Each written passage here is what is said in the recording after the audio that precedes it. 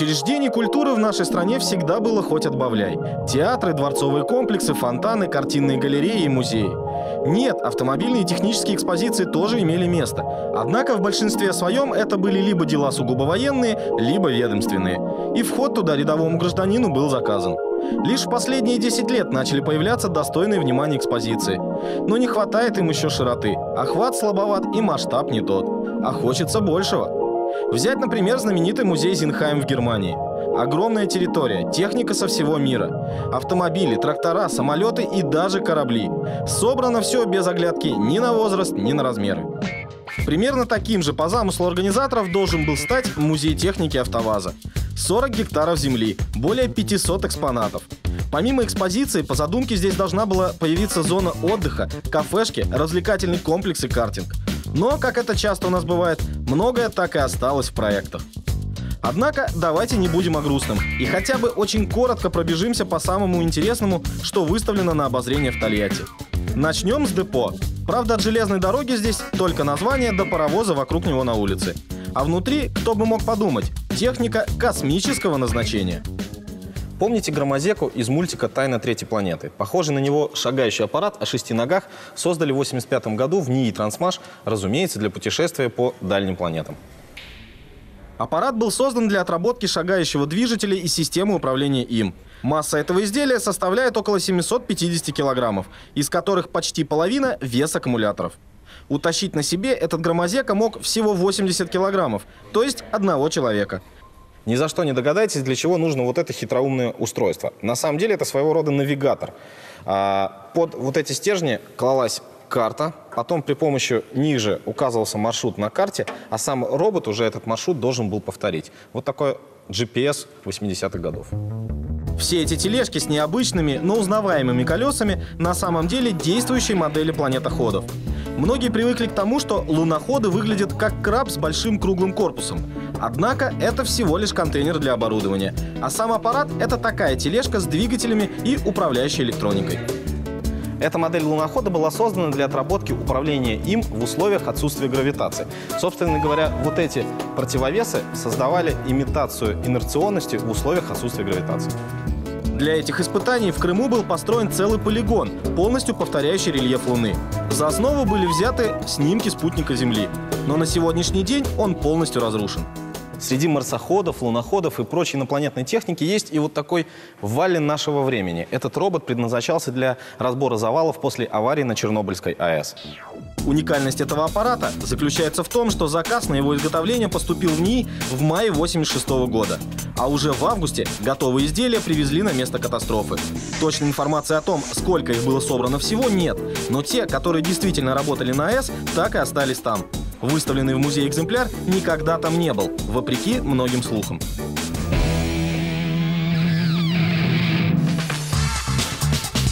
Перемещаемся на улицу. Большую часть территории занимает экспозиция ракетной и инженерной техники. Рассказывать о ней придется очень долго, да и не особо интересно. Другое дело — авиация. Среди заурядных Ан-2 и МиГ-29 здесь есть и достаточно редкие экземпляры, которые увидеть живьем становится все сложнее и сложнее. Вот, скажем, Як-28 – советский многоцелевой реактивный военный самолет. Существовал в нескольких исполнениях. Фронтового бомбардировщика, перехватчика, разведчика, самолета радиоэлектронной борьбы и учебно-тренировочного самолета. Первый полет он совершил 5 марта 1958 года.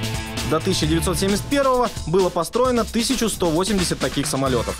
Но самое интересное то, что в СССР официально он так и не был принят на вооружение. А этот самолет стал во многом первым. Это первый в мире реактивный бомбардировщик. Он же стал основой для первого в мире реактивного пассажирского самолета Ту-16 «Барсук». Решение о начале работ над созданием реактивного тяжелого бомбардировщика дальнего действия было принято в 1949 году, а уже в 1953 он был взят на вооружение. Этот самолет можно было встретить во многих вооруженных силах мира. Ту-16 принимали участие в так называемой шестидневной войне 67 года в Израиле, в Ирано-Иракской войне, в Афганистане и многих других конфликтах. Настоящий шедевр инженерной мысли, последний Ту-16, ушел на пенсию еще в 90-х, став самым долгоживущим самолетом в истории мировой авиации. Кстати, китайский вариант Ту-16 до сих пор стоит на вооружении в Поднебесной. Выставленный здесь экземпляр находился в распоряжении одной из военных частей Самарской области. В музей его доставляли по частям, по воздуху, транспортным Ми-26. Согласитесь, силы были потрачены не зря. Жаль, что на содержание редкого Ту-16 нет средств, а состояние его с каждым днем становится все хуже и хуже. Кстати, именно для выполнения подобных транспортных задач был создан Ми-10. Предполагалось, что он будет перевозить ракеты, но скоро от этой идеи отказались. А чтобы проект не пропал даром, конструкторы как следует поколдовали над машиной, в результате чего в 1975 году на свет появился легендарный летающий кран. Этому вертолету принадлежит мировой рекорд грузоподъемности, который до сих пор не побит. За мной находится самая большая дизель-электрическая подводная лодка в советском флоте. Плюс к этому это единственная подводная лодка в мире, которая выставляется на суше. Перевозка фюзеляжа самолета, пусть и большого, по воздуху, это ничто по сравнению с теми усилиями, которые потратили сотрудники музея на то, чтобы протащить 8 километров по суше подводную лодку массой около 2000 тонн. Тащили полгода. При помощи 15 военных тягачей лодка сантиметр за сантиметром двигалась к месту музейной стоянки. Главной проблемой было то, что все машины обязаны были действовать синхронно. В противном случае тросы рвались моментально. И еще, такую громадину нельзя было ставить просто на грунт. Многотонная махина постепенно ушла бы под землю. Пришлось сделать специальную станину и водружать ее на бетонные сваи. Зрелище впечатляющее, но самое ценное для меня – это небольшой ангар неподалеку от картинговой трассы. Здесь собраны вазовские концепт-кары и машины опытного производства, так и не дошедшие до конвейера. Вот лишь некоторые из них. Идея обновления вазовской классики витала в воздухе давно, еще с середины 80-х годов. Вот так должна была выглядеть изначально рестайлинговая «семерка». Но, к сожалению, проект был практически сразу свернут. И в 2002 году на московском автосалоне был представлен проект под названием «Неоклассика». Новый кузов, новый салон, переработанная ходовая, но, к сожалению, эта машина тоже осталась лишь проектом. По сути, это автомобиль полностью оригинальной конструкции, но собранный с миру по нитке из агрегатов существующих моделей завода. Заднеприводная классика. По сравнению с действующими на тот период времени моделями, машина стала больше, комфортнее, планировалась установка подушек безопасности и АБС.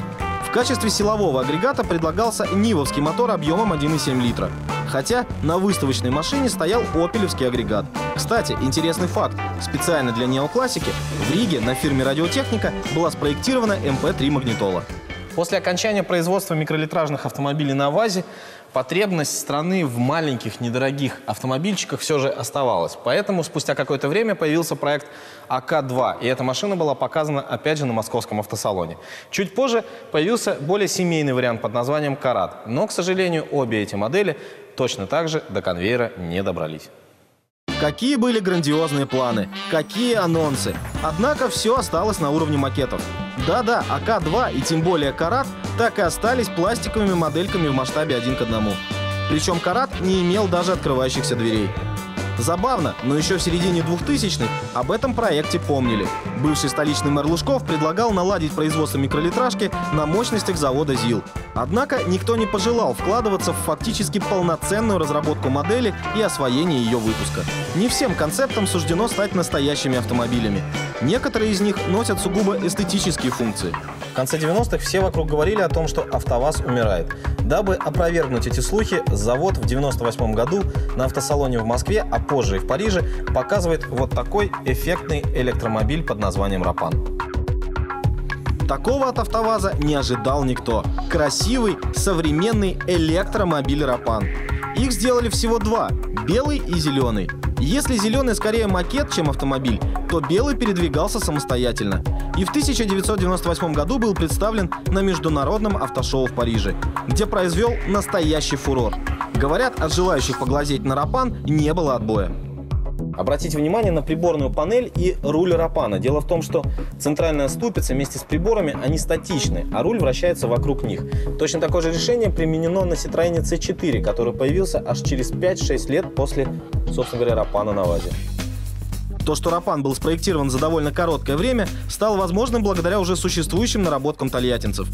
В течение 80-х, 90-х годов прошлого столетия завод серьезно занимался идеей создания машинной электротяги. Гномы, эльфы, все эти смешные автомобильчики часто показывали публике и на них обкатывались новые технологии. Однако им изначально не было суждено стать серийными. Но были и более серьезные проекты с большими амбициями. Развозить небольшие грузы в условиях большого города без ущерба для экологии. Такие задачи стояли перед электрогрузовичком под названием «Пони».